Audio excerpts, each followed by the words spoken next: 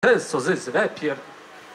Jezus zwrócił do pozycji horyzontalnej dredzi roz.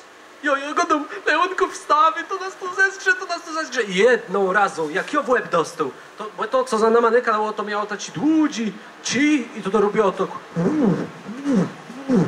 Wiem, wiem, wiem. To było uzbrojony w taki świetlny miecz, jak mamy w Gwiezdnych Wojnach widzony, jo?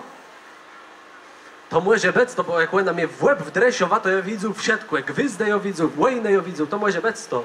Aha, no dobrze. Tere rzeczmy naszym słuchańcom prawda. To, co waj zaatakowało, to był kosmita. Nie, to było kulowo gryta, bo tej płele było. Gryta. Gryta na swoim płelu. Płelu. A, ta istota wytworzyła w kuse tajemniczy płele magnetyczny, jo? Te tyś jest na kacu, jo? Ze płele magne... Płele, te wiesz coś to jest płele? To płele tam je lata lateczny. Ja już takim kunopiczka był, ja tam chydu coś tam rosłe. Petrywnice, kresbule, e, wszystko tam rosłe. Ne, i w ta, tamtych latach, nam nawet ka pierwszy raz w ten łeb w dresiowa, to były te y, gwizdy łejne piersi, o. A, aha.